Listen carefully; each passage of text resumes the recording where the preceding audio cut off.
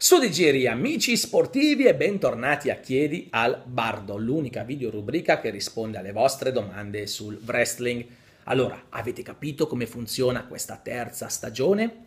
Sono in onda, sono qui su YouTube al lunedì, al mercoledì e al venerdì alle 18. Così i miei video hanno una durata massima di circa due giorni e potete sentirli con tranquillità. Oggi mi chiedete quali sono le tue gimmick preferite. Beh, cosa sono le gimmick? Sono i personaggi recitati dagli atleti, dai lottatori. Io credo di aver già risposto eh, in una delle precedenti serie ad un quesito simile, ma come dicevano gli antichi, ripetere giova. E allora, cosa vi devo dire? A me piacciono i personaggi di chi non si fa problemi ad essere un po' preso in giro, a diventare un po' ridicolo per beneficiare lo spettacolo il cattivone che arriva a picchia tutti o quello che è già fico e deve vincere sempre, non hanno mai avuto una grande attrattiva su di me.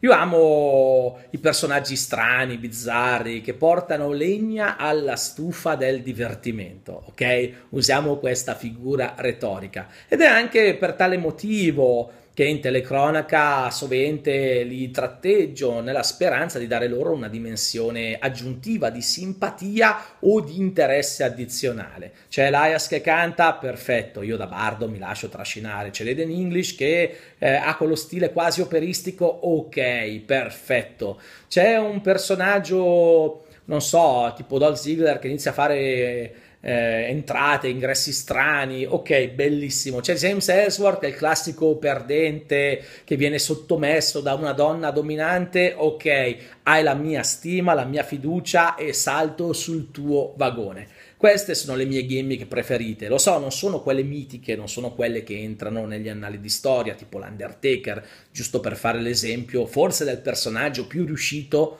della storia della WWE, inteso proprio come gimmick. Però sono quelle che forse hanno maggiormente bisogno di un aiuto addizionale della mia voce o che si sposano un po' al mio spirito guascone e goliardico. Quindi quando si tratta di prendere delle decisioni, io non guardo tanto alle presunte capacità o ai risultati, io guardo al divertimento, all'intrattenimento. Un personaggio che mi fa ghignare, un personaggio che mi dà una nota di colore positivo in una giornata grigia e muta, per me è sempre da promuovere, anche se non vincerà mai una mazza e la sua bacheca resterà vuota.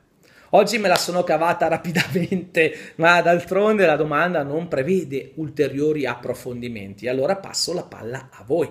Qua sotto nei commenti di Taroventi fatemi sapere quali sono le vostre gimmick preferite.